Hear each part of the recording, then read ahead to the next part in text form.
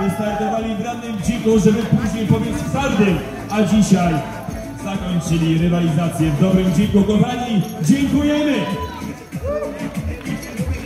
Dziękujemy również